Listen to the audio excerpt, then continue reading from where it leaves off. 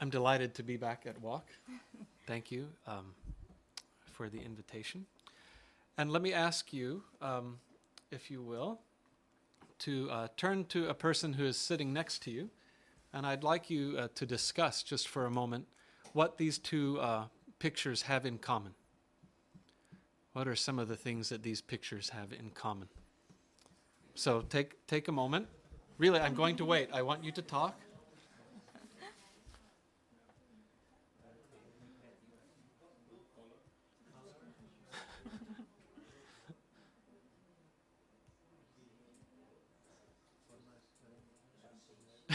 Format, yeah.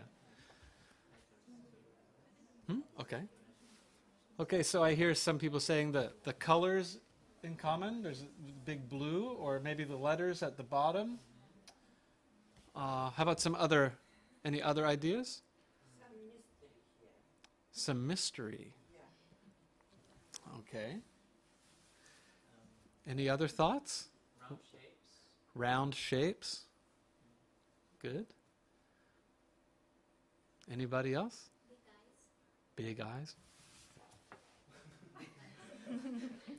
okay. if you say so. Uh, the thing I was thinking about is that both of these pictures uh, enjoy equal copyright protection under the law. It's a very important point. Okay? We're going to talk a little bit about copyright. So, when we talk about openness in education, first thing I think we have to do is define some terms. What does open mean and what does education mean? So, for, um, for several years now, maybe a decade, when we've said open, we use open as an adjective to describe uh, a variety of other resources like open textbooks, uh, open educational resources, open courseware, even open source software. So, open is a word that describes some kinds of educational materials. Um, and generally, these educational materials that are open, what that means is that they are shared with us uh, in a way that doesn't cost us any money, and it gives us permission to engage in four kinds of activities. I call them the four R's. So we can reuse these materials without any cost, we can redistribute them, we can share them and give them away uh, to others at no cost, we can revise them or make changes or improvements or adaptations to them. And we can also remix them. We can take this one and another one and combine them into something new. And we can engage in all these activities without having to pay any money. That's what an open license gives us. Now, these four R's, the permission to engage in these four R's, that's something different from what you get in traditional copyright. So, in order to communicate to someone that they have these extra permissions, we have to use some kind of license. Um, I guess most everyone here at the UOC knows about the Creative Commons licenses. These are the most popular ones. And these licenses all communicate to people that they have permission to engage in these 4R activities. I guess you've seen these little buttons uh, at the bottom of web pages and things. Um, this is some of the most recent data about uh, Creative Commons uh, adoption around the world. So you can see that in, uh, this is from the middle of 2009, you can see that in mid 2009 there were 250 million uh, pictures and uh, sound recordings and texts and things like this that use a Creative Commons license. So the nouns that the word open modifies, things like open content or open educational resources or open courseware, the words at the end are very different. Uh, but this word open is the same, and the kinds of activities that operationalize this idea of openness are the same. Basically, when we're talking about being open, we're talking about being generous, we're talking about sharing, we're talking about giving, uh, and these kinds of ideas. In other words, we're, we're not talking about the response that a little child has when she pounds on the floor and says, That's mine. What, how do you say mine in Catalan? Meu. No. And do little kids shout this very loudly and they get into fights? Exactly. Yeah, exactly. right?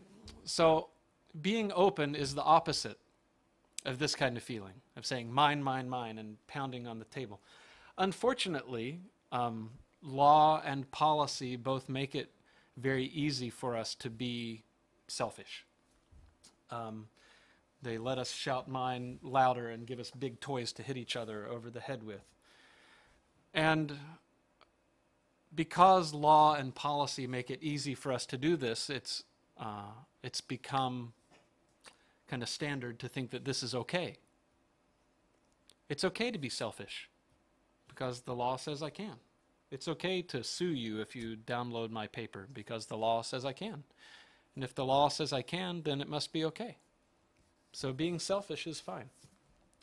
And unfortunately, you know, in our institutions of education, um, this kind of thinking is accepted much more often than it ought to be. So I've been asked many times what is the role, what's the right role for this idea of being open in education? And I think this is a horrible, awful question.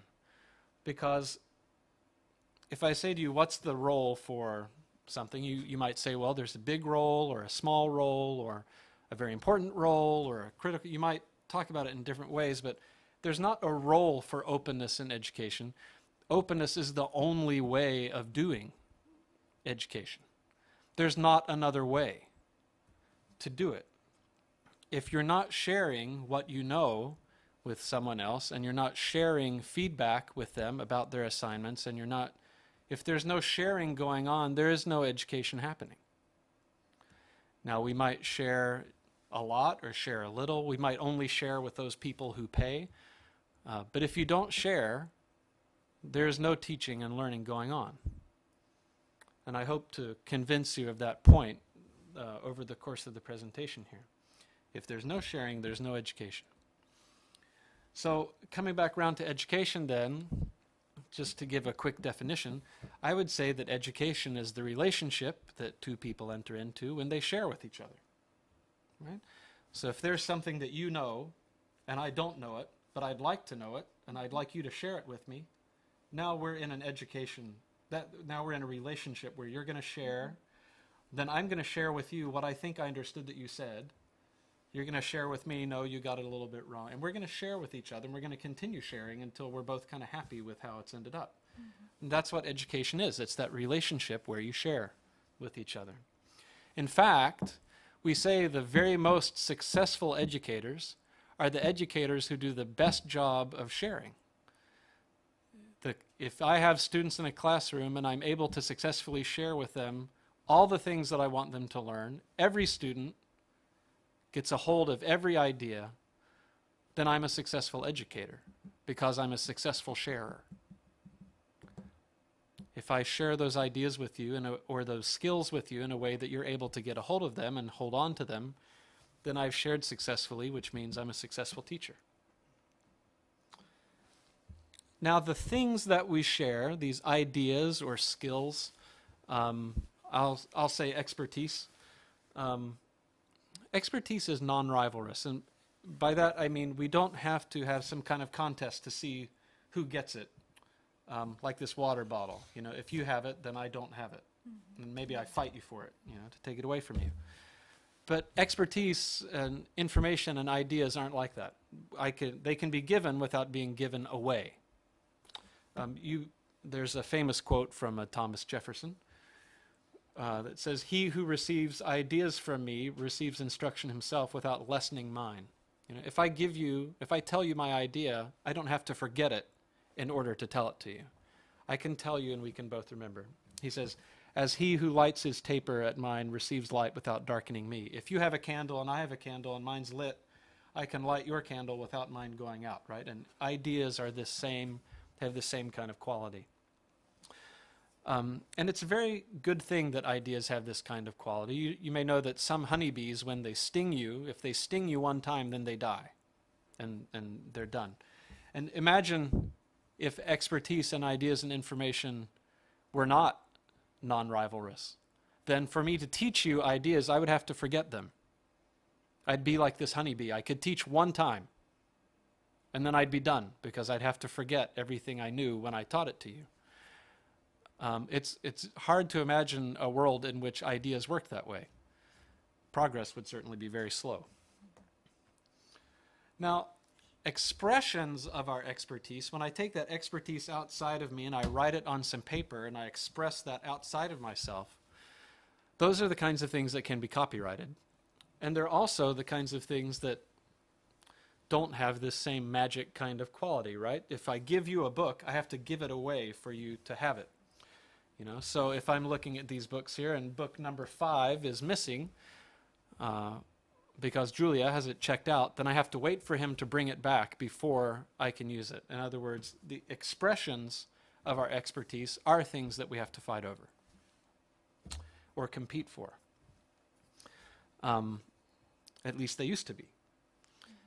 Now, when we can express ideas and information digitally, uh, we find ourselves in a situation where ideas and their expressions are both non rivalrous and we don't have to compete for them. So if you go onto the web to read the news, um, 100,000 people can all be reading this website at the same time. It's not like the newspaper. If I'm reading it, then you have to wait for me to finish before I can give one to you. Hundreds of thousands of people can all use this site simultaneously. So it's a very, very important uh, change. It's something I think we take for granted. We don't think about it very often. But this idea that now, after thousands of years of writing and of different kinds of ways of capturing information outside of ourselves, either in stone or on papyrus or paper or whatever it might be, we now live in a time when expertise is non rivalrous, of course, but also our expressions of our expertise are also non rivalrous. Um, so we can give expressions of our expertise without giving them away. So that gives us, um, when you can give things to people without having to give them away, that gives you a great capacity to share. Um, a capacity that we haven't had before. And if that increases our capacity to share, then by definition, it increases our capacity to educate as well. So, I think we think about the internet and about digital technology as increase, increasing the reach to people who can't come to our campus or people who can't be here at 10 o'clock because they have a job. Um, I think we think about it in some of these ways of convenience, but I think there's a much more important thing that uh, digital technologies let us do. Um, now, let me pause for a moment in parentheses and say that yes, I know that education involves more than sharing copies of your expertise with people. It also involves having arguments with them and talking with them and explaining to them. Um, and it turns out the internet is pretty good at helping us talk to people and argue with people and explain things to people, but, but that's not, that part of education isn't what I'm talking about right now. Right now I'm talking about the content side. Let me, let me pause for a minute and see if there are any questions or comments at this point. Please. If you don't say something, I'm just going to keep talking. So. Mm-hmm.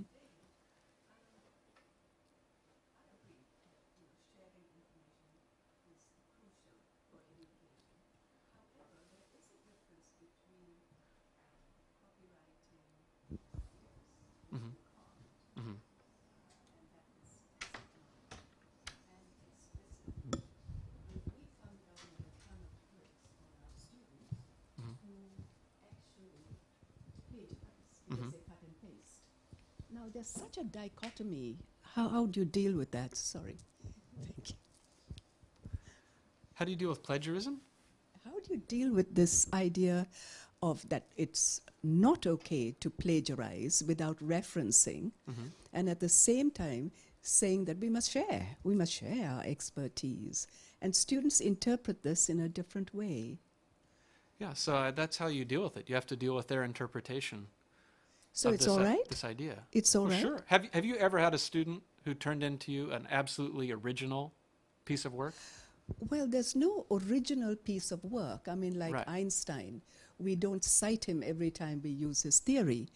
But the whole idea of scholarship is to build right. on what others have said. Mm-hmm. But so, therefore, there is no uh, copyright on ideas. But it's very difficult. It's a challenge to tell students you don't just repeat what Mhm. others have done, but you need to put your own spin. Right. Yeah, they need to they need to make they need to make some kind of original contribution to this conversation that's already going on, right? And that's part I guess to me that's part of the cr- the process of learning how to be uh, a scholar. You know, is learning how to understand that conversation that's been going on in time, maybe for 10 years, maybe for 150 years, maybe for 3,000 years, if you're talking uh, maybe a long-standing philosophical debate. How do you understand what's already happened? How do you show that you understand what's already happened? And then how do you make your contribution to it? I don't think that that is a problem. I don't think that's a copyright-related problem, really. Unless, now, if students are just stealing other people's ideas and trying to represent them as their own, well, that's just immoral and inappropriate, and we should tell them to stop. Um, sharing ideas is important, and when you when you've been the recipient of that, you ought to reference who shared that idea with you and where you got it from. I think there is a culture of attribution that we have to help to establish, um, both so that I know what's originally yours and what's not, but also so that I can see who are we, you know, whose conversation are you really participating in, right? Um, but I think the bulk of the problem you're talking about doesn't have anything to do with copyright. I think it has to do with just more basic ideas of representing your own work as your own and representing other people's work as other people's work. But for me, as an author, I get really annoyed when I find chunks of, you know, what I've written mm-hmm. without attribution. I get Well, really annoyed, and sure. then people say, "Yeah, but that's an idea that you can't copyright." You know, so these are problems, especially with digital uh, technology. Well, I mean, when someone, if someone tries to pass off your idea as theirs, that doesn't, I mean, you can't copyright ideas, so this isn't a copyright related problem. When, I mean, trying to take credit for work that's not your work is just not appropriate, and you shouldn't do it. But increasingly, Increasingly, people try to. exactly. So, you know, how do you deal with it as a teacher? You penalize them, you take away their grades, you fail them out of school, you have academic honesty policies that tell them if they plagiarize, we're going to expel them from the program. Um, it's the standard kinds of things, I suppose. Um, that's a problem, but I don't think that's a. I don't think what we're talking about makes it better or worse. It's just as easy to copy somebody's work out of a book into your paper as it is to copy it off a web page into your paper. Um, I, I don't think the digital part the digital part might make it worse in that you have access to more information than you did in the past, but yeah, I, I think that's a slightly diff- related but different issue, I think. Okay, well, let's talk here for a minute about technology. Um, this new technology that does make it so that our, the expressions of our expertise are non-rivalrous. Um, technology never travels alone; it always travels with its companion, which is policy. Um, and there's a lot we can learn from history in this regard, and you may know this history better than I do, but let me give you a quick uh, sketch of uh, a story and then uh, a lesson we can draw out from it. The, some would argue that the greatest technological advance in history, right, happened in the 15th century, which is the combination of the printing press, not just with movable type, but with metallic movable type that you could use over and over again in the press, right? Old movable type, the wooden type, wore out after you pressed on it so for so long. Um, and the printing press and this metallic movable type, it gave us this great capacity to make copies of information uh, at a rate that we never could before and more inexpensively than ever before. But at the same time that this technology evolved, we saw policy, uh, or in this case, law, uh, evolving that was really, really strict with regard to some of the kinds of information that could be passed around. And I'm talking particularly about the Bible here. Um, Gutenberg's own master work is a copy of the Vulgate, the Latin Bible. It's a 42 line Bible that came off the press. Um, but the, the church itself didn't see the printing press as a way of providing greater access to God's word to the common people. The church saw the printing press as a way to do a variety of other things more efficiently, like printing indulgences. Um, indulgences being slips of paper you can buy that forgive, you know, give you forgiveness for your sins. Um, so instead of taking this technology and using it in a way that there is some demand from the people for, because at this point there's quite a demand for access to the scriptures, they start using it in another way, and policy starts to evolve. And this is English law from uh, 1414 is when this law became effective. So this isn't even about possessing a copy of the Bible, it's about reading the Bible in English. If you read the scriptures in the mother tongue, which in this case means English, you'll give up your land, your cattle, your life, and your goods, and not just yours, but also from your heirs. Right? Your children, your family, everybody will die, will take everything you have, and will condemn you as a heretic, etc., etc. I mean, the DMCA and ACTA and all these modern copyright treaties look really tame compared to this law, right? Um, so the so what you have in the 15th century is this huge collision setting itself up, where you have very powerful new information technology in the printing press, giving you uh, great capability to disseminate information very broadly, very quickly, very inexpensively. You have big demand from people for the scriptures, and in fact, some of the first uh, the first, some of the first times we talk about the word pirate with regard to information are pirated copies of the Bible that are being hidden in sacks of flour and hidden in bales of hay and transported across uh, uh, from one country into another. So you have technology and demand and outdated law, outdated ways of thinking reified in law. You have those things coming together in a collision. And of course, this collision is one of the main things one of the primary causes, we would say, of the Reformation. Um, so, taking that story as the lesson, I don't think our day is very different in terms of uh, new technology. You take something like the learning management system. Um, what, what learning management system do you use here at UOC? Are you do you use Blackboard or WebCT or what? You have your own in-house system. I mean, a, a learning management system is really a technology that is kind of perverted and made to work against its own potential, right? Here's a digital platform with digital material that could, because it's digital, could be shared with everyone, but in many ways, the point of the LMS is to conceal that information and to hide it and withhold it from people unless they've registered for class and paid their money and been admitted to university and all these kinds of things. Um, we have a joke this is the Facebook page of my friend John Mott. He and I have a joke that says if Facebook worked like your learning management system, then every 15 weeks, Facebook would delete all your friends, delete all your photographs, delete all your groups. Because at the end of the class, you, when you're done with the class and you're kicked out, you can't get back to any of the material that was there before. All the discussion posts probably get deleted to make room for the new group of people who are coming in. We just delete everything on a regular basis. And that's, that's not a, way to build a learning community by deleting all the work that they do every 15 weeks and keeping them from going back and accessing material after the end of the semester. Um, and while, while this may not be an issue all the time at, at UOC, it's an issue at other universities. You hear now of faculty who have policies that say, you cannot have the lids to your laptop open during class. Oriel, please, close your lid. Because if you keep it open, you're going to be on Facebook or something, and you're not going to be paying attention to me. And it's all about me. I need you right here with me. Everybody, me. Don't look at, don't look at your laptops. And because for some reason faculty aren't willing to compete for attention.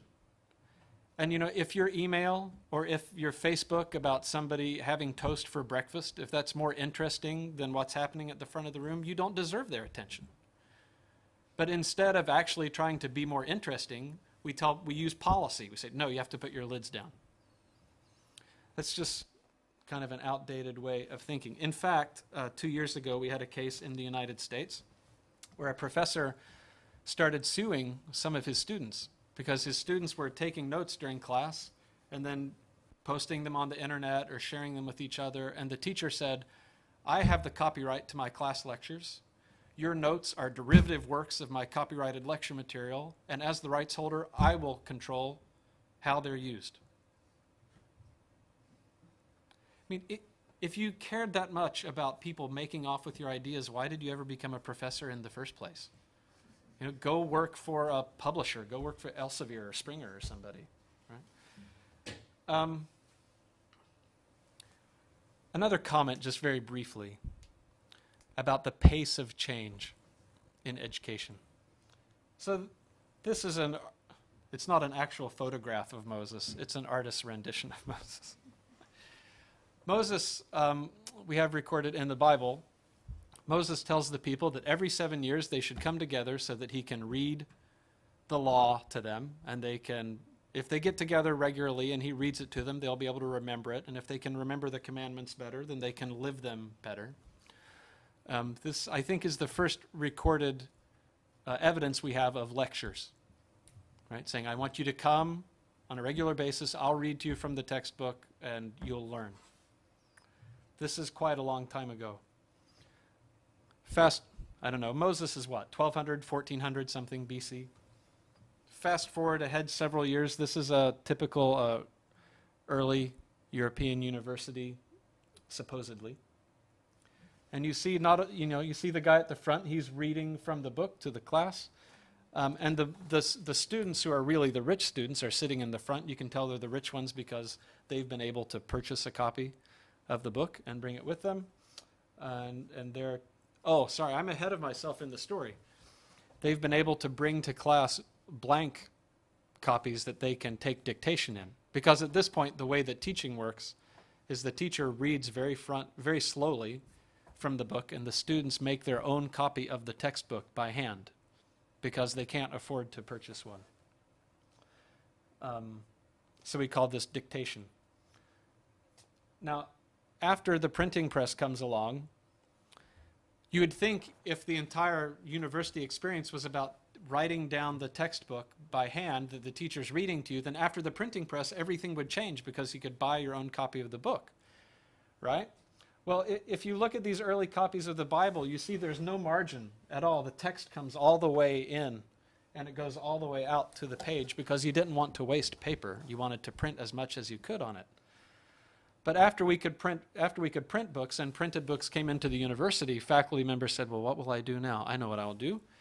And they started arranging for copies of books with wide margins to be printed, and the faculty member stood at the front and instead of reading the book, he read his annotations and his interpretations of the book, and you would write them down in the margin of your book. So even the invention of the printing press doesn't really change what happens in this room. He still sits at the front and reads, and you still write things down. And now you fast forward another six, seven hundred years, and here we are at university with one person at the front. Here we are today at the UOC with me at the front. I'm not reading from a book, I'm reading from a laptop, but this is essentially still exactly the same kind of instruction 3,000 years later. So take that as one block of comments. We've talked about new information technology, we've talked about some kind of outdated policy. Let's talk about demand for a minute. Um, Post-secondary or, or higher education, right now, estimates are there are about 120 million people participating in higher education around the world. And in the next 20, 25 years, that number is projected to grow by another 150 million. Not from 120 to 150, from 120 to 270 million. Um, Sir John Daniel uses ex- this example, which I think is a, a fabulous one. Basically, translated just in India, that means you have to build, staff, and open a new university every two weeks for the next 20 years or something in order to meet demand. Which means either we're not going to meet demand or we're going to have to radically change the way we do education. One of those two things. So, again, this idea of the collision, right? Instead of the printing press now, it's the internet. We have this huge demand with people who are old enough and want higher education but can't get it now. And then we have these crazy, outdated ways of thinking with not only these policies like put your lid down, but also at the end of the course, I'm going to boot you all out of the LMS and you won't be able to come back in. Um, and of course, this all ought to sound very familiar. This is the story from the Reformation, just retold a couple of hundred years later in education, which makes me wonder if we don't have our own kind of Reformation coming. Um, and I don't know what is being written in the popular press here in Spain, but just last week in the US, a major newspaper ran a story called Plan B Just Skip College. And the argument really wasn't whether or not you should do that. The argument was whether it should be Plan B or Plan A. You know, college is too expensive. You come out with too much debt. You don't learn anything you can actually use in the real world you come out of college, get hired for a job, and they immediately begin training you again. So why not just skip college altogether? Which, I mean, when the Wall Street Journal or the New York Times writes an article like that, it's a little different from Luther nailing the theses onto the door of the church, but it's the same kind of, you know, it's the same kind of thing. So the question then, I think, becomes the, the most interesting question becomes will we reform our own institutions? Will we reform internally, like the church had a chance to do but passed on? Um, or will we see the same kind of thing happen in education, which happened with the church, which is these different groups splitting off and trying to do things in, in more modern or more innovative or more appropriate ways, while that old institution kind of gets left behind for a small window of time? Um, so when you talk about reform, then you want to talk about examples of what reform is or what it might look like. Um, and I want to share with you one very, very imperfect example of, of uh, what reform might look like. Well, maybe we should pause here again and, and call for a question um, on this analogy of the Reformation and this lesson from history applied to modern higher education. Does anybody want to tell me I'm a big liar, or I've got it all wrong. Oriol? I just, just uh, wanted to contrast. The, you were showing some pictures that really made very, very clear the idea. Just saying, showing a girl, little girl, saying that's mine, yeah. Uh-huh. And and when we see what what means the property, copyright property, and all that things, then you showed the the printing, the first printer, and you explained, you showed about the Bible, the for the the um, forbidden to to read the Bible in in a foreign language, and it's curious to see that the printing just was discovered in a country where they first did is translate the Bible in their own nat, nat, uh, natural mm. tongue. Thus, the Bible was probably the the engine that made the printing possible because the first book they were printing was the Bible right now in German. Yeah. Uh -huh. So there's always what I see the, the conflict is what do you pretend to do with your property? It's not that the people care about their property, they care about the use of their property. Mm. And I think here's the conflict. Here is, for example, in Spain, we are paying a tax even if we don't copy music, just for, for buying any engine that can copy uh -huh. information which is, I think, the most illegal law that has been written in Spain after Franco's death, because this is really, it's awful. It's against the most common sense that people cannot be just punished because yeah, they I'm could do one thing they are not doing. Right. But this is the concept. Who's pushing that? Mm -hmm. The big uh, broadcasting companies mm -hmm. who want to really speculate with property. They don't care a clue about the quality of the ideas, of the music, of everything. They just want to make big business with that. Mm. And here I think is the sin of the concept of intellectual property, is when you just want to speculate with that. You don't care about the use of that. Mm. And I think that's the opposite of what you're saying and the way people have to understand what's intellectual property. Mm. Because I, I always say any musician should explain me that any part of his music doesn't belong to an original idea that his is not his. Right. And I can bid for that. I would win. Mm -hmm. So is he paying the rights to the owner of, of his original idea? No. Why shall I pay him the rights just to listen to his music? No, it's it's more or less. Uh, yeah, and, and I'm not. I, I I wish I could say one thing, but I can't, so I'll say another. Yeah, I, I wish I could say that I think eventually everyone in education will see that the more they share, the better education will be, and so they should share more. Um, not everyone will have that idea. Um, there will still be people who want to engage in IP speculation or whatever you want to call it. Um, but I think eventually they'll have a very hard time competing competing with an education product that's very very expensive and because it's protected I can't really see its quality. I can't get a preview of what it's like because I have to pay before I can. Where over here are many alternatives that are open whose quality I can inspect and I can look at before I decide to get involved. At, at some point, those open ones, at, at some point, the closed one will have a very hard time competing with the open ones. Um, particularly in mathematics, it seems like a lot of scholarly books in mathematics uh, are shrink wrapped. You know, they're wrapped in plastic, and you can't open them until you buy them. And I, have you ever seen have you ever seen a book on a shelf like before you it, that is it's wrapped in plastic and you can't open it until you've paid for it? If there's a book right next to it on the same topic that you can pick up and look at and flip through, which one will you buy? I mean, you almost always, and especially these mathematics books, they cost like 100 euros or 150. I mean, they're really expensive. You're, you're betting a lot of money. And here's one that all you know is the cover and maybe who the publisher is. And here's one that you can go and look at the table of contents and read some pages it's hard for the closed one to compete with the open one. It doesn't mean that the closed people will change their mind. It just means they'll probably go out of business eventually. Right? You, you, you hope so. Yeah. David, um, yeah, I agree with you. But the shrink wrapped stuff, for example, in New Zealand, are usually pornographic material. Mm-hmm. I don't need to go to a shop and find a mathematical or a communication book still wrapped up because I can go into the net and get the contents and see whether I want to buy it, price, etc. But to pick up on Oriol's point and your point that um, openness is an ideal, we all believe in that as teachers. But the reality is so different because even within the university, even within a school, staff are made to compete with others, with PBRF, you know, all the government things of uh, research uh, competencies, etc.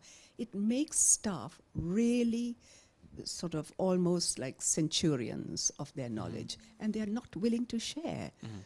because of their own, the me, me, me stuff. Mm-hmm. You know, and we are forced to actually accede to these ideas.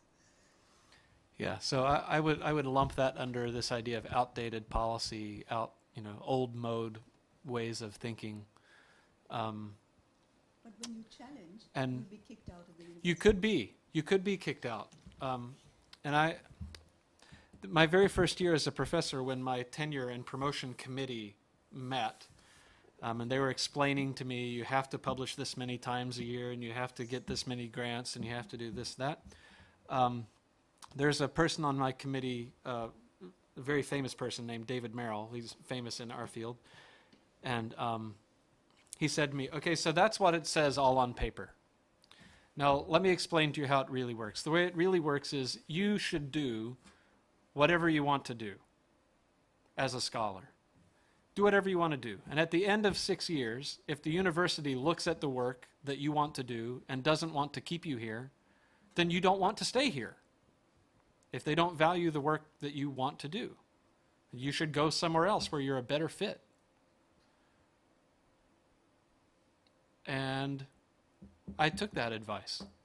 You know, and for me it worked out at the institution I was at. The kinds of things I wanted to do were the same kinds of things the institution valued.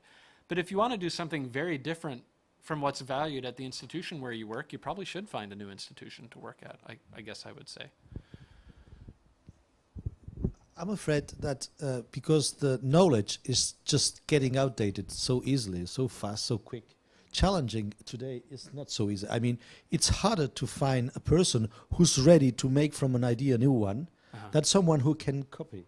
So I don't feel challenged that someone uses an idea of mine if I've been ready to build it up, because I am ready to build a new one. Uh-huh. So, and he will not. That is not what we call know-how in the companies, and I think that makes the difference from one company to the other. If the company is made the way that this company can innovate on and on, and the other one can only copy on and on, mm-hmm. so there will be every time a bigger uh, split or bigger distance between both because one is heading much faster and the other one is just following after. Mm-hmm. And th- this is probably what would explain ho- what advantage you can take just by sharing. Because by sharing, and this on, on the social networks analysis explains very easily, by sharing, you can build uh, links to other networks and get information that normally in a closed network you cannot get.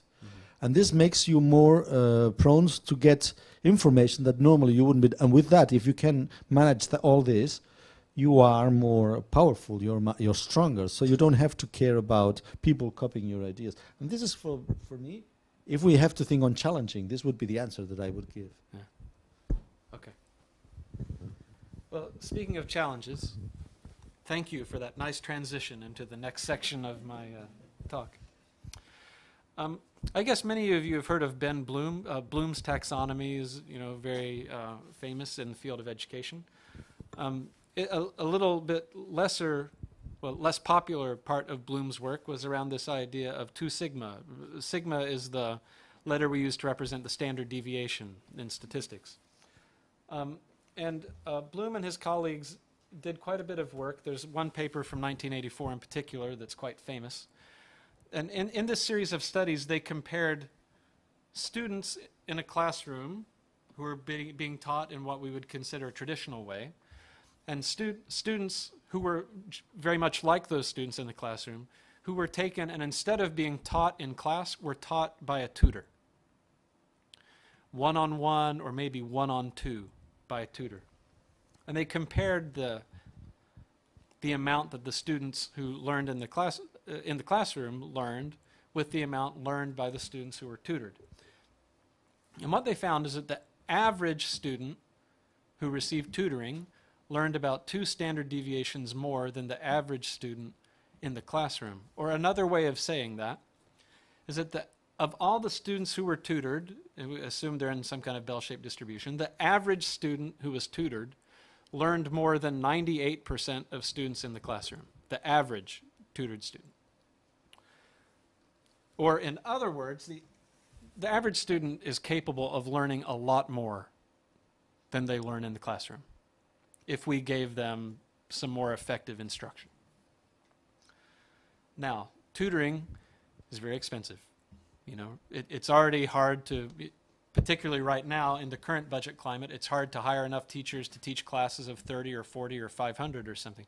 Imagine trying to pay for one teacher for every student. It's very, very expensive. So we teach class instead. In, in this paper by Bloom, um, he said, you know, so they've demonstrated this two sigma effect. He says if the, the research on this two sigma problem could yield practiced methods, in other words, methods that the average teacher can use, that they can learn in a very brief period of time, and that don't cost more money or time than what they used to do, that would be an educational contribution of the greatest magnitude. If we could increase student learning so much with an average teacher with very little difference in cost. Um, so for a number of years, we've been asking if we should, should we tutor or should we not? Should we use intelligent tutoring systems and artificial intelligence and whatever, or not? There's been this question, uh, particularly in the educational technology field. You know, which should we do? And this idea that you have to only do one or the other, I think, is a false question. Um, so a question that, uh, an approach that we've become very interested in is what we call strategic tutoring. In other words, you tutor every student, but you only tutor them when they need to be tutored, and you only tutor them about the thing that they need to be tutored about. Because when I'm tutoring you one-on-one, chances are 80% of what I'm teaching you, you would have understood just from reading the book. I'm only, a tutor is only acting as a tutor when they're tutoring. Does that make sense? I hope. I'm not sure it made sense even for English speakers. I don't know. So, this idea of doing strategic tutoring, if you think about it, it requires at least three things. One, it requires you to have a very, very deep amount of insight and understanding of what the student, you know, who, who needs help, when do they need help, what do they need help about. That's a lot of information that generally we don't have. Um, and so data, of course, are the key to having that kind of insight. you need you don't need uh, oh these the kind of data that you normally get in a class we jokingly refer to as autopsy data. Does anybody know what, what autopsy is in Spanish? Auto- hey, very good. My, my Spanish is great. Okay. You know, we call it autopsy data, right? Because the class is over, the student's gone, there's nothing you can do for them. But now we have some data about how their learning went, right? But to do this kind of work, to do this kind of strategic tutoring, you need live data. You need data from one second ago. You know, how's the student doing? What are they doing? And the, the third observation related to this, of course, is that data are expensive, but good data are really, really expensive, right? And who, who on earth can afford to gather and analyze data like this? Well, let me give you a few examples of some people who can afford to gather and use this kind of data. So, Google is one. Um, at the top here, uh, in English anyway, I, I've misspelled the word football in the Google search box. And then just underneath there in red, it says, Did you mean? And it's suggesting the new spelling to me. Now, Google doesn't do that by going to a dictionary, right? What Google does is they track who does what, when, in what order. And it turns out that after people type in this word here, the very next word they normally come back and type in is this next word. So they haven't used a dictionary or a spell check. They've just got so much data that they said uh, people who type that immediately come back and type this other thing. So we think you meant this other thing. Okay, it's not it's not based on dictionaries at all. Um, Amazon.com. I guess many of you have bought a book from Amazon, or a book or a DVD player or something, right? And whenever you go back to Amazon, it says, "Hey, we think you'd like to buy this book." because other people who bought books like you uh, also liked this kind of book. It takes a lot of data to generate a recommendation like that. Um, anyone in here play World of Warcraft? No? No. Anyway, yeah, this is, that's almost unintelligible. This, this is a room in a virtual world with about 100 or 150 people standing in it. They're getting ready to go on a raid. And um, the companies that run these servers, you know, that run the World of Warcraft server, the EverQuest server, or whatever server it is, are gathering all kinds of data. Just like, you know, Amazon is gathering, every time you look at a book, every time you click on a book and go look on it, they capture that. How long did you look at it for? They capture that. What else did you look at at the same time? You looked at these three books within five minutes. They must be related to each other somehow because you looked at all of them within five minutes, of, right? They're just every time you click, when, where, what order, how long, they're capturing all that data. Same thing in Warcraft, right? Where did you go? Who did you talk to? How long were you there? Which quest did you go on together? Um, is, is, do you have Netflix in Spain or, or some equivalent of this? What's the Spanish equivalent of Netflix? Do, do you have one? It's uh, movies on demand. It's Cinetube. Cinetube. Not yes. It's, it's, you can Okay, and you watch ca- movies you- or down or can you get a DVD as well? I mean, the way Netflix worked originally was they would sit, you went on and said, "I want this movie," and they would email you. I mean, they would mail you a DVD physically, and then when you're done with it, you send it back, and they send you the next one, and then when you send it back, they send you another. Um, for for about a year now, I guess you've been able to stream movies out of Netflix, but it started out as DVD rental company, but it was all by mail. And based on which movies you rented and checked out, then they would recommend other movies to you. So, you know, in the case of Netflix, in the case of Amazon, in the case of World of Warcraft, in the case of Google, you know, every single interaction you have is being captured and being tracked, and all that information is being bundled up and analyzed in some way so they can improve the service that they provide to you. Um, in fact, I don't know if you have these in Spain or not, but in the United States, at the grocery store, when you go to buy milk and bread and eggs and whatever else, they have a little card, and you carry the card with you. And if you scan the card, then they'll give you a 5% discount or, you know, something like this, right? Well, why are they willing to give you a discount? They give you a discount because when you scan your card, now they know that you are the person who bought milk and eggs, and, and they're gathering data.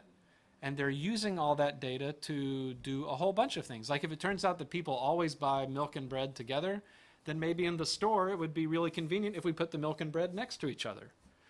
Or if I know you're always going to buy milk and bread together, maybe I should put the milk in the back corner of the store and the bread in the front corner of the store so I can make you walk all the way through the store and you'll pick up other things, right?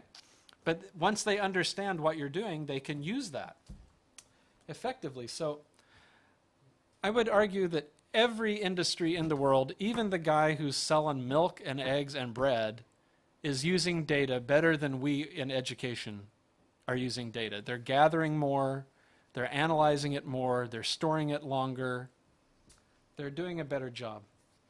So let me try to connect the dots here once, and then I'll connect the bigger dots in a minute from this idea of two sigma to strategic tutoring into data. You know, how can we as educators get the same kind of data that Google or that Amazon uh, or that World of Warcraft is able to have? Um, one way to do it is to do school online. UOC knows a little something about this, right? About doing school online. Because if we do school online, then every single interaction that a student has involves a click. And if it involves a click, then we can capture it. And if we can capture it, then we can store it. And if we can store it, we can analyze it, et cetera, et cetera. Um, this is the homepage of a, a new school in Utah called the Open High School. Um, it's a school that I'm involved with that is a completely online high school. There's no building. Um, all the classes happen online. And we uh, are, have gotten very, very serious about this idea of capturing data.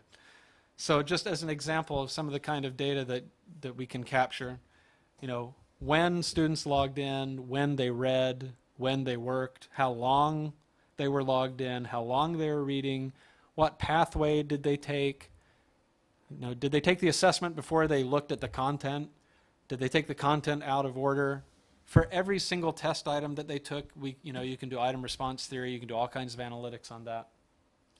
So we've tried to develop this teaching model that we call, you know, we keep using this phrase strategic tutoring, where we have a curriculum that's online that the students use, and the hope is that, you know, I, like I said before, maybe the curriculum itself can do 80% of the teaching or some percentage of the teaching, but then the teachers reach out proactively to the students to provide tutoring to them when they need it about what they need it about. So the way the teacher's morning works is a teacher opens up her laptop. All of our teachers are women right now. Teacher opens up her laptop and logs into the system, and the first thing she sees is a dashboard with a list of students on it. And the, li- the student at the top is the student that the system thinks is in the most need of help. And then the next student listed is the one in the next most need of help. And the teacher just spends her whole day getting on the phone or getting on Skype or whatever, tutoring students. And you tutor the one student until you get whatever the problem is fixed, and then you go to the next one, and you go to the next one. And you just, all they do is tutor all day long. Sometimes, of course, the student will pick up the phone and call and say, I'm confused, I need some help. But mostly it's the teacher reaching out to the student. Um, I guess many of you know that in the field of educational technology, for a long time, they've, there's been an effort to develop intelligent tutors or software based tutors where the computer is the one that's tutoring you. Um, so you might say, why not take that approach? Well, there's a very interesting article uh, written by Garry Kasparov, the um, the world, whatever at one time, you know, the number one ranked chess player in the world, um, about a contest in 2005 on this website called uh, I think it's called PlayChess.com. And there are lots of websites where you can go to play chess against other people, and most of these websites have anti-cheating technology built in to try to keep you from you know using a computer using something using a chess playing computer over here while you're playing with your uh, chess partner over the internet. But in 2005 they did a contest where they said you can do anything you want. You can play in teams. You can use a computer. You can do anything. And they put up a ton of money for the for the person or the team that won this big chess competition. So everyone immediately thought you know, well, you're going to get this grandmaster chess player, and that grandmaster chess player is going to have some kind of supercomputer, chess supercomputer, and they're going to work together to play, and they're going to win the contest. Well, the, the, they found two things. One that didn't surprise anyone was that a human and a computer working together could beat the computer every time. Um, but the lesson that they learned that they didn't expect to learn, the, the, it turns out the people that won the contest were two amateur chess players. They were teenagers, and they were using three laptop computers. They, they weren't chess geniuses, and they weren't using supercomputers, but they had figured out a good process for working with the computers to teach the computers about the game to get good feedback from the computer. And Garry Kasparov in, in this article says the lesson is that a weak human being and a weak computer and a good process beats a strong human being, a strong computer, and a poor process. So a grand master chess player and a supercomputer if they don't have the process figured out right, lose to two, teen, two teenagers and a couple of laptops. Right.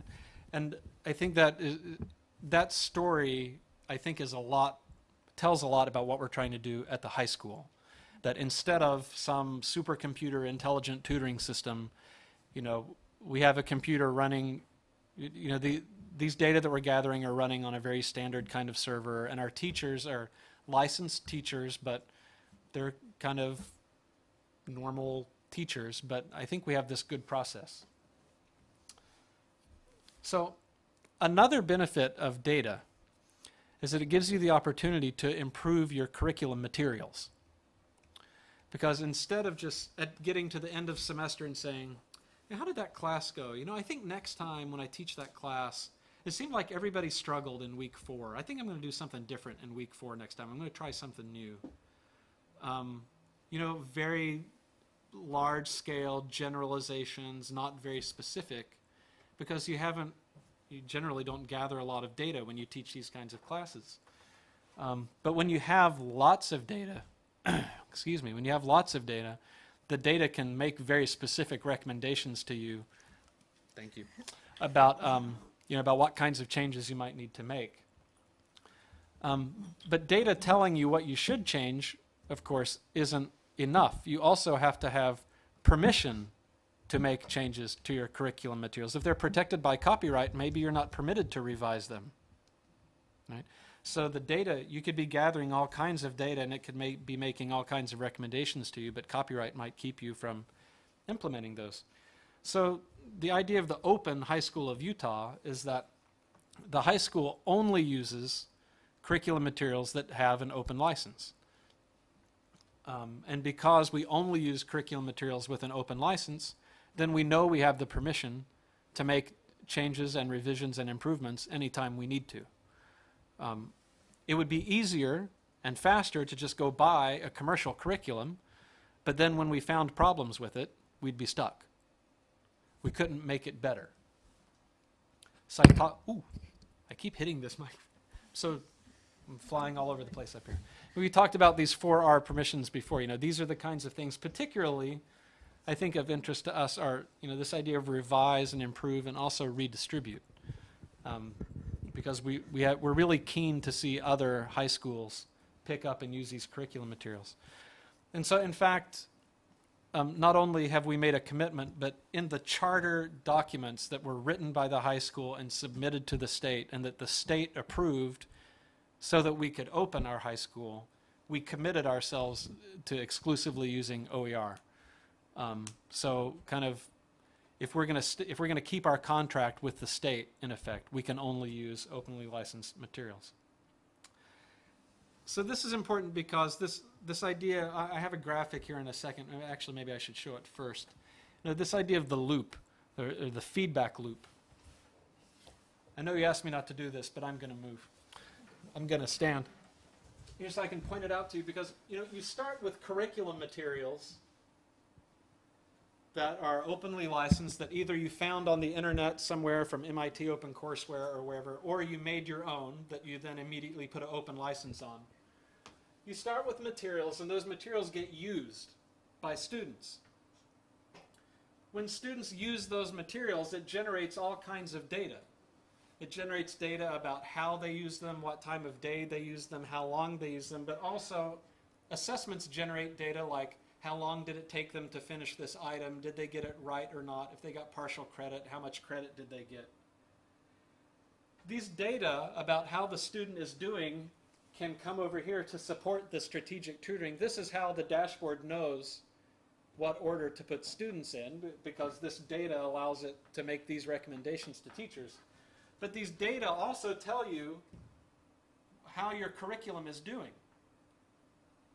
You know, if if everybody looks at this one piece of content for three hours and then they all fail the assessment that was associated with it, that's a problem with this piece of content. But so this data then can feed back into redesigning your curriculum materials. And so you get this big loop just flowing. You, you all know about feedback in a microphone, right? When the speaker is too close to the microphone, then the sound coming out of the speaker goes in and it comes out and it just gets loud and you want to hold your ears and scream.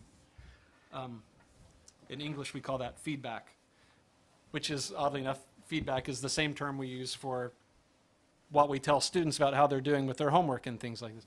This is a feedback loop, right? This should make our curriculum get, well, it should simultaneously make both our curriculum get better and it should make our students learn more because curriculum is getting better, but also because it's helping us know when they need help and when to reach out to tutor them and tutor them.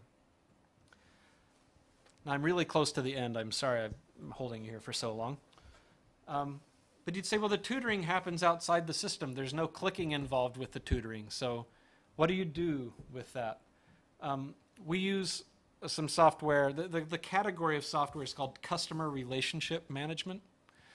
And so, um, if you've ever had an experience where I know none of your computers have ever broken or ever had a problem, but sometimes my computer has a problem. And sometimes the problem is so bad that you have to call someone. And so you call them and you talk to them about it. And then three days later, you call back and they say, you know, give me your name or number, or whatever. And they say, oh, yeah, I see that you called three days ago. You had this kind of, you know, they know a little bit about who you are because they've captured information about you in one of these systems. So this isn't a screenshot of our copy of the system um, because our copy of the system would have all kinds of private student information in it, and I wouldn't put it up on the screen. But this is a screenshot from the company that provides the system. That's uh, it's called HighRise. It's very inexpensive. I think we pay $15 a month for it. I think. But basically, in this kind of system, you can see a name and a person up here at the top. Every person has a page in the system, and everyone who can log into the system can add notes and can add information to this page. You can email, you can send emails to the page that get attached to it there. So basically, every time one of our teachers has a tutoring session with a student, if it happens by Skype, they just cut and paste the tutoring session into here. Or if it's a phone call, then they make a summary of the conversation in here so that every time any teacher has any interaction with a student that happens outside the system, some information about that interaction gets captured here specific to the student. So I can go to a student's page and see exactly who they've talked to and what they talked about and how often that happened. So from time to time, when you run a high school, you get a call from someone's parent and the parent's really angry because the, you know their kid failed a test, but my kid's too smart to fail a test, but he failed it. So there must be some problem with your teaching or your test must be bad or you know they call and they yell at you and they say, you know, my kid was online all day every week last week studying. And the teacher goes and looks at the system and says, Well, I believe he was online all day last week, but he must have been playing Warcraft because I can tell you he only spent 37 minutes in English. And when you can say that to the parent, then the fight is over. Now the parent goes and fights with their kid. you were online, you know, why weren't you studying? And then that conversation that the teacher has with the parent goes into the system for the student, right? So all that information is captured. So when the math teacher reaches out to you on Tuesday and says, You haven't been logging in enough, I can see you're falling behind, I'm really worried. What, what can I do to help you get involved? Then on Wednesday, when the, when the math teacher calls the parent, then on Thursday, when the English teacher calls the parent, and the parent says, oh gosh, I didn't realize Bobby wasn't studying enough. Then the English teacher says, no, I know the math teacher talked to you about this yesterday. Right? So don't try to play games with me and tell me that you didn't know. So a couple of last points here. When you have all this data, it, it's so hard to interpret. So we need ways to make pictures of the data so we can look at it. Let me show you one. Um, this is a visualization of first semester data from the high school. This says 0 and 99, but it's not to scale. It just means lower and higher here. Each row in this graph, each row of little drops of water is a student. So this is one student, this is one student here. They're sorted from top to bottom according to their average grade in all of the classes that they took.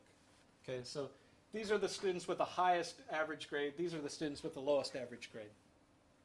Left to right is time. This is August through January.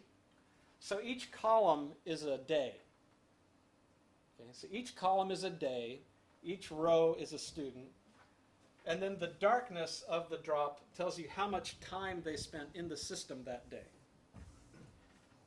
We call this the waterfall. Um, because you can see you can see some fairly interesting things like here's Christmas holiday. Okay. Here's Thanksgiving holiday. This is in November. You can see weekends here, like little rocks at the top. They're just stopping the water from coming down, right? But what you also see is that the students with the best grades are very consistent about coming into the system, and they're very consistent about spending a good amount of time in the system.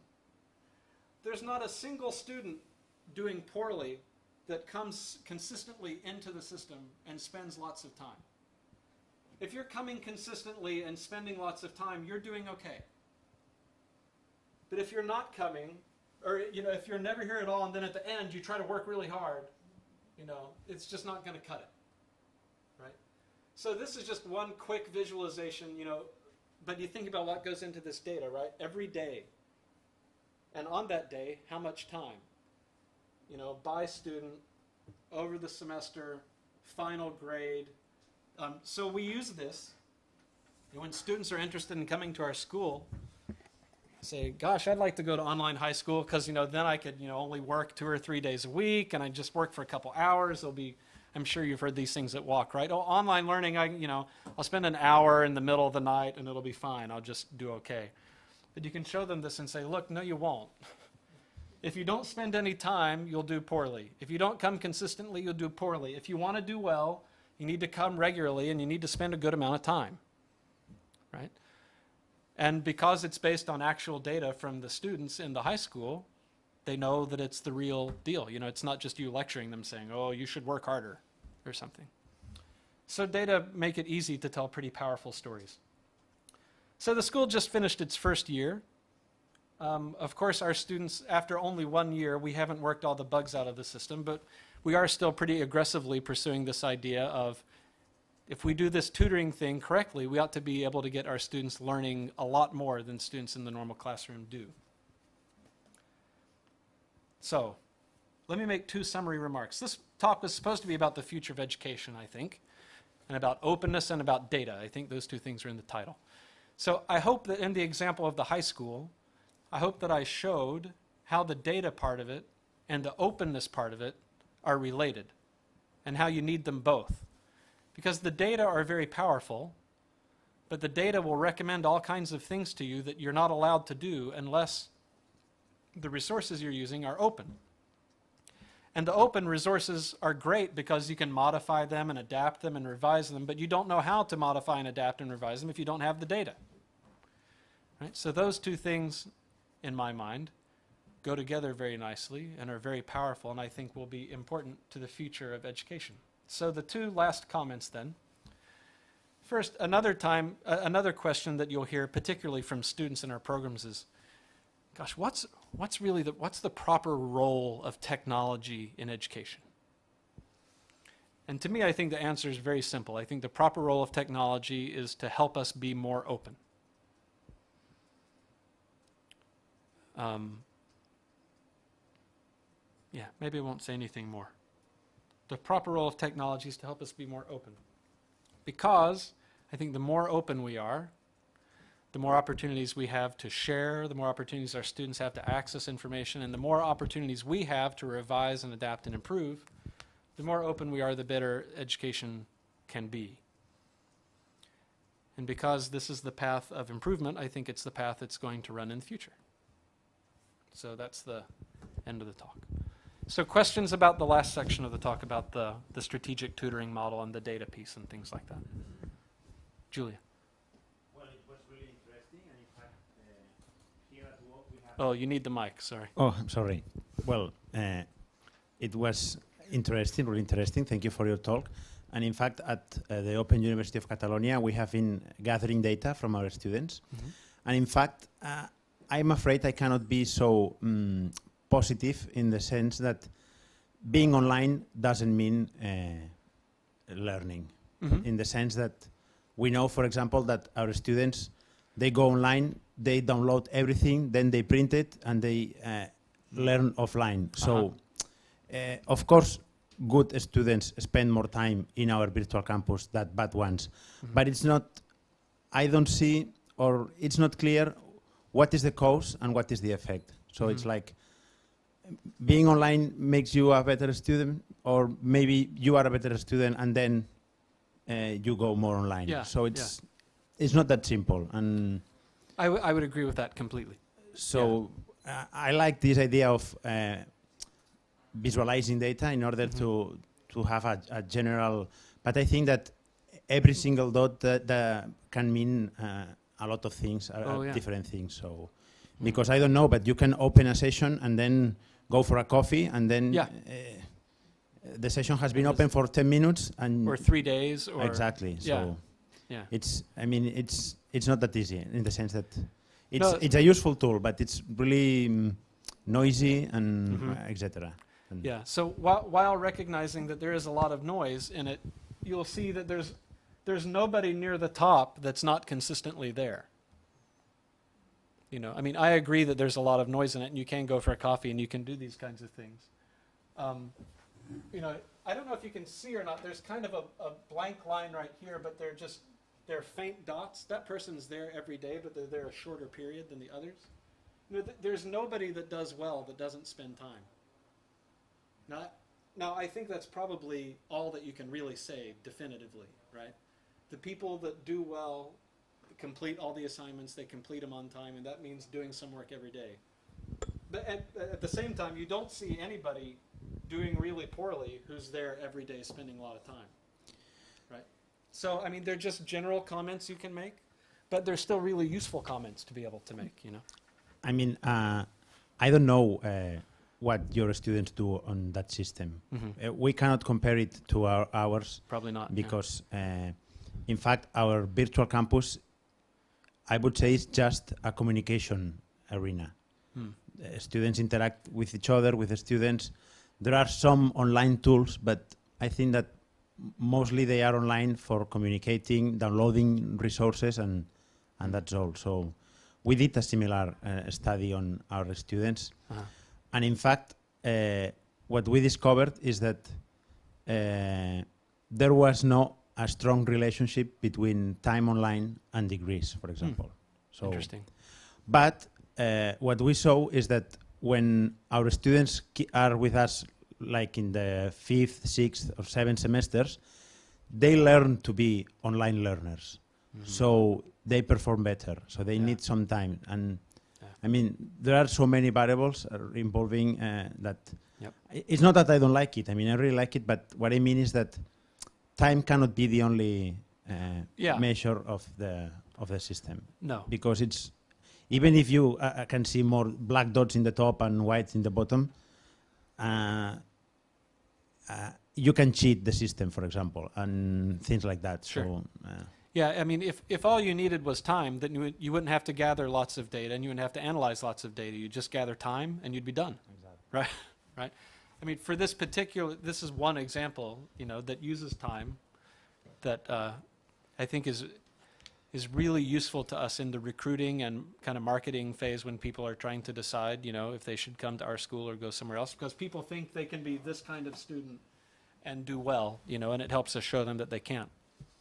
And that's really kind of the biggest use that we make of this particular visualization, you know. So, but yeah, there's tons of other data, tons of other ways to analyze it. I just haven't brought them with me. Uh, David, thank you for your enriching presentation. It's been very, very. I mean, I- I've learned a lot. I was just wondering about what you were saying about the Bloom Sigma theory. I think it was written in times where people didn't had virtual classrooms, and I guess, I guess uh, much of what it's saying about the knowledge that students can get in classrooms, in virtual classrooms, changes a lot, especially because much of the information you collect in the classroom about the communication of different students is available at the classroom, what in presential classrooms Mm. is not possible to have. So I'm sure that uh, what we could say networked or collaborative learning, what George Siemens liked to call as connectivism, is in, in virtual education and e-learning more a, a- factor to take in account and can be as decisive as a tutoring, a good tutoring, in my opinion. And at Mhm. least we shouldn't forget that. I mean, I'm not uh, uh, sure if you agree with that or not. Yeah, well, the um, I, I- I think the point of the two sigma work, wherever it was, somewhere on here, anyway, um, the point of the two sigma work is that the the difference between the amount students learn when they're tutored and the amount they learn in the classroom is so large. I mean, two standard deviations is a huge amount, right? Um, I, I, I think the point of the two sigma work is to say, look how much more, this much more, they're capable of learning, right? But I, I don't think I hear anyone arguing that in online settings, students learn this much more than they do in the classroom. In fact, I think there are lots of studies that show it's very similar amount that they learn. Some studies show a little gain for online, some show a little gain for classroom, maybe depending on the bias of the author of the study. Um, but I, I don't see anything claim, making this big claim for online the way that Bloom did for tutoring. So I, I guess that's the a difference I would see. Believe uh, tutoring is something that is more professor student. Uh huh. And I think we are talking more about informal learning, about learning in collaboration. So uh, the, another student can be your tutor, Mhm. and you don't need a professor to be that, because part of what you're learning, and it has been shown that many times uh, colleagues can help you more than the professor. So uh, it's another way of understanding tutoring, I guess. Yeah, so I don't think that I don't think it's important that a teacher be the tutor necessarily. Um, I think this is this is the Kasparov lesson that that a weak human and a weak computer with a good process can be better. So my question then would be, what's that process? You know, a, a lot of times. Um, so uh, George and Stephen have taught these what they call massively open courses. I've taught them before. You know, where basically we have a hundred or a thousand people and they all have their blogs and we've made all these ways for, for them to communicate with each other. But, um, but at the end of the day how do i know that she needs tutoring right now? And how do i find her? And can we even connect? You know, it's, it's that process part that i think is so important to understand. And if there were a system capturing every time you logged in every time you logged out everything you read how you how you were doing on the assessments would you feel comfortable sharing all that information with everybody so that somebody that was willing to volunteer to be your tutor, you know, could really tutor you effectively? I think a lot of people would if they felt like somebody was going to use it effectively to support them in their learning, but a lot of people would just get creeped out by it, you know, and uh, would never want that. It, it takes a lot of, I think part of that process is uh, access to a lot of data. Um, because I know, um, as we've talked to the teachers who teach this online high school, they say, I'm spoiled, I'm done, I'm ruined. I can never ever teach in a classroom again. Because I just stand and I look and I have no idea. You know, I mean, you're looking at me, but are you thinking about what I'm saying? Maybe you are, maybe you're not. Are you reading your homework at night? I don't know if you even opened the book or not. I just don't know anything when I stand in front of the classroom except maybe the score that they get on their test. now I'm used to having access to all of this information about when and how long and in what order and all these kinds of things. I can never ever go back to the classroom again. Um, so I, I guess I'm being a good professor and taking five minutes to agree with you, right? When I should just say I agree and shut up, but I have to talk for a long time because I'm a faculty member. Um, so I, I think it's absolutely possible that a peer could tutor you as effectively. The question is, how would they, how would that process work? How would they know everything they needed to know in order to show up when you actually needed to be tutored? Um, and maybe you would say, well, because you would ask for help. But a lot of times you need help when you don't even know that you need help. You don't know to ask for it. Um, so the weak human plus weak computer plus better process wins. Uh, the Kasparov lesson, the, all the magic happens inside that better process box. You know, what goes on inside there is, is something I think we ought to be working to understand.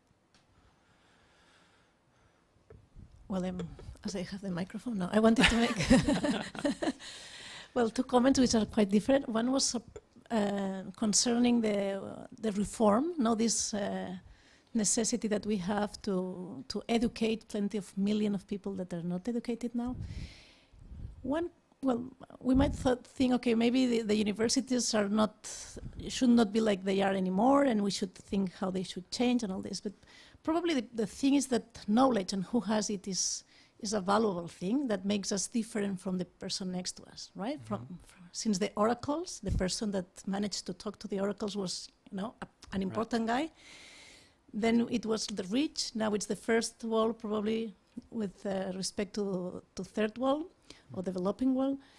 But okay, if everyone is coming here, no, where is the, our difference and how will we differentiate? Because at the end, this is what brings us to the best jobs. And so I, I think it's more than changing just the universities mm -hmm. or mm-hmm. the teaching system or the educational system. And I don't know if we are ready for that. I mean, not we, the academics or the faculty or the universities, but everyone. I mean, I think it's a big, big change. So that was one comment. And the other was about data and this process. I agree that uh, good processes help a lot.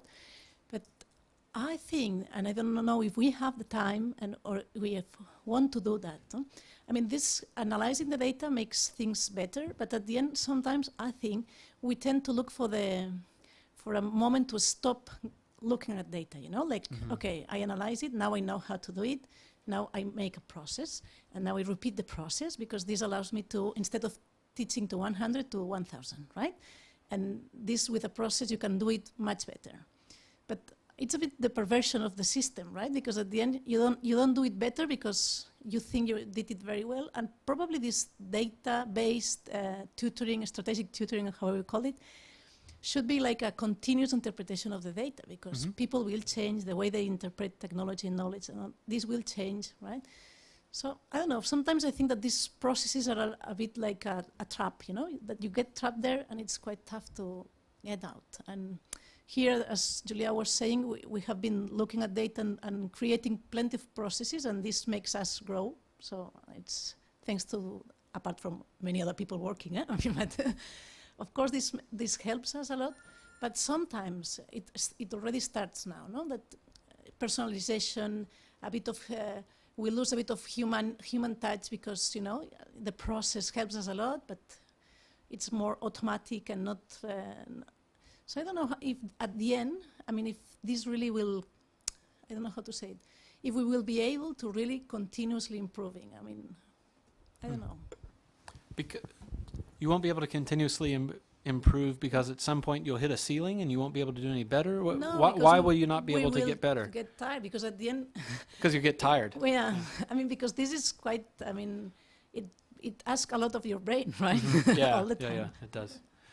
Um, right, or, I mean, and, and so I, so I guess having good process, you know, is really important. I, I've heard, I've only heard secondhand. I hope to hear it directly eventually. But I, have heard comments from um, parents and from students at our high school saying that they never had this much contact, never had this much help, never had this much support from their teachers at the real school. You know, because that they're with them physically, but they're with 30 of them. And when does a teacher in a real school get to pull a person aside and spend 15 minutes just with them, helping them on the thing that they need help with. You know, maybe once or twice in a one-hour period, and then that group leaves and the next group comes. Whereas, um, you know, in in the open high setting, that's all the teacher does all day long is have one-on-one, very personal tutoring kinds of interactions with students And I, I've heard a couple of comments. We haven't done a big survey yet. We're hoping to do that this summer. But it seems to me like the sentiment from the students is that they feel like they have a lot more personal contact with the faculty. They know them a lot better, and they feel like they care about. They feel like the faculty care about them more than the faculty in their classroom schools did. So I, I guess the the fir- my first response would be.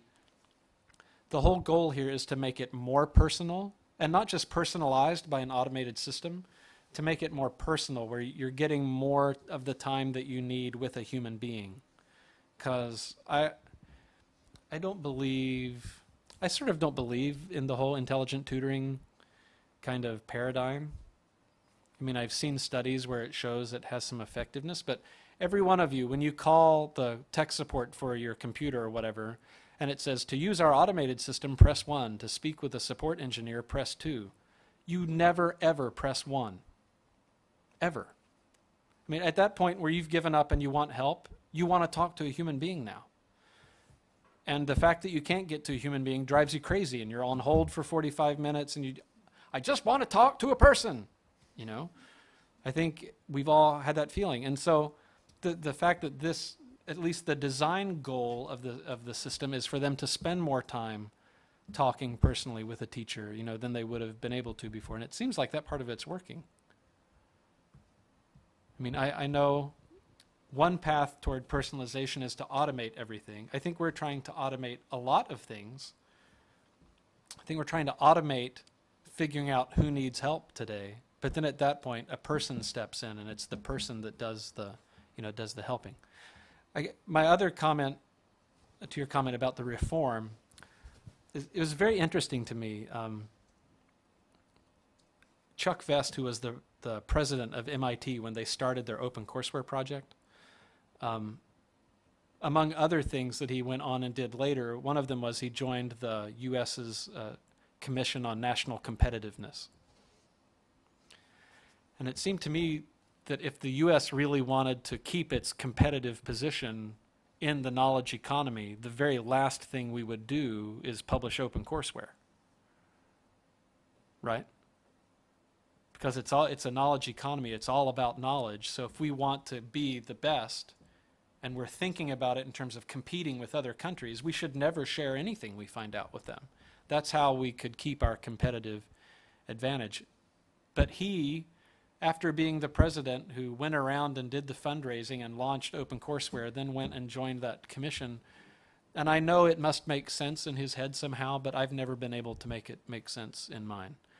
I, I don't think I don't think you can think about openness and sharing and really have that kind of feeling and at the same time feel like you need to compete with other people on the basis of knowledge. I mean, if you work harder than they work, then you should win. You know, work is a rivalrous resource.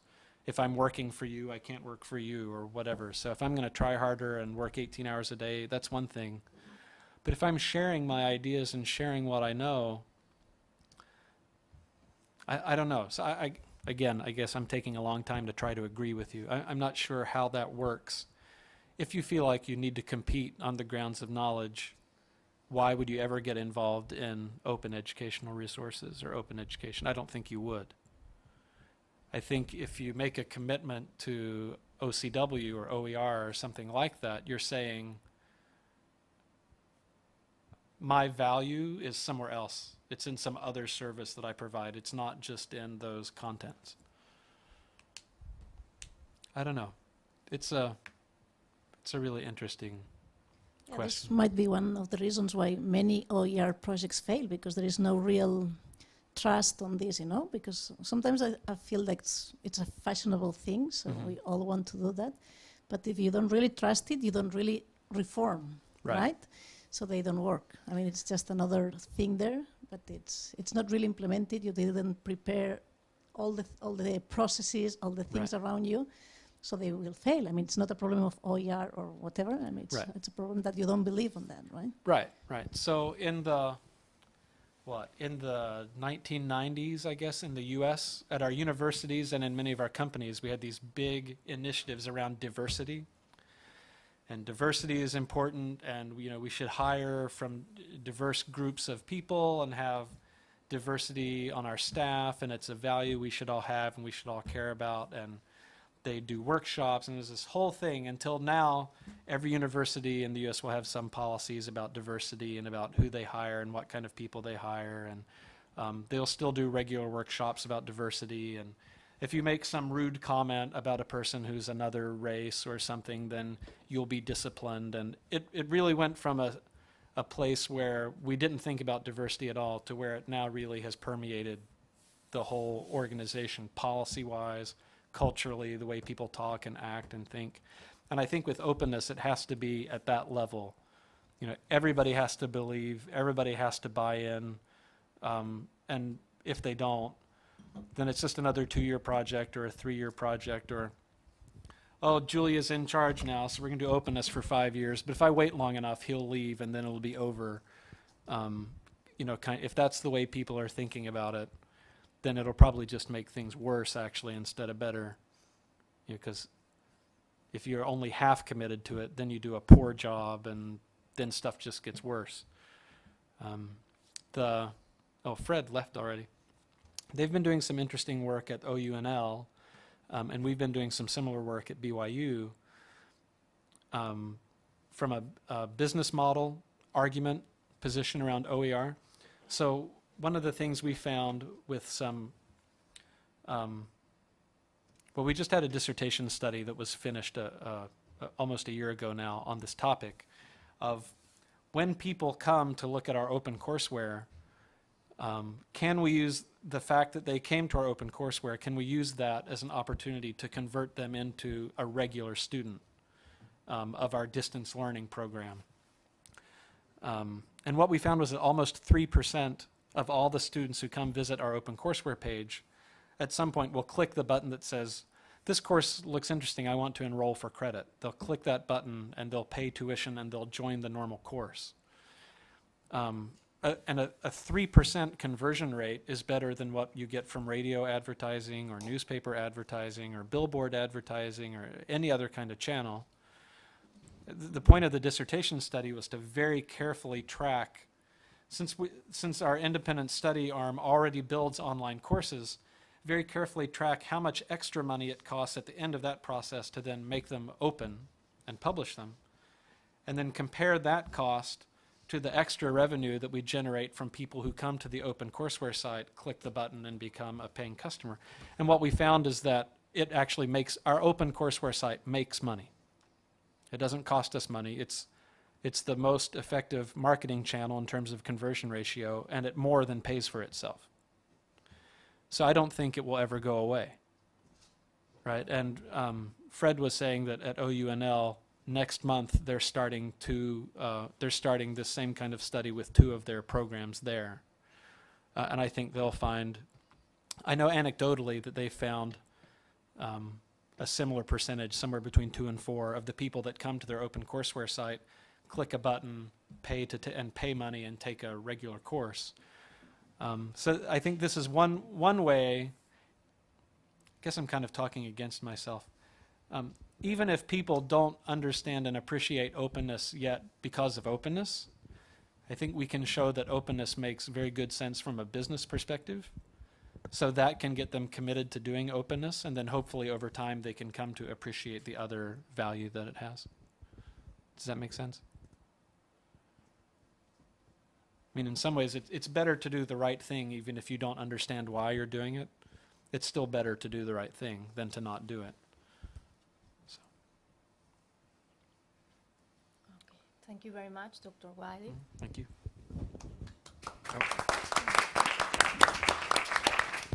Oh.